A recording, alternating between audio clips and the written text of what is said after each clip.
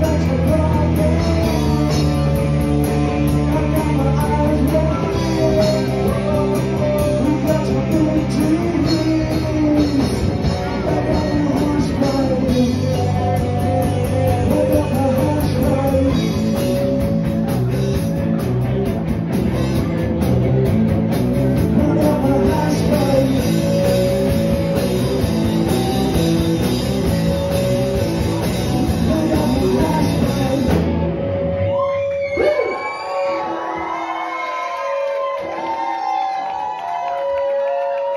lot of feedback to do it.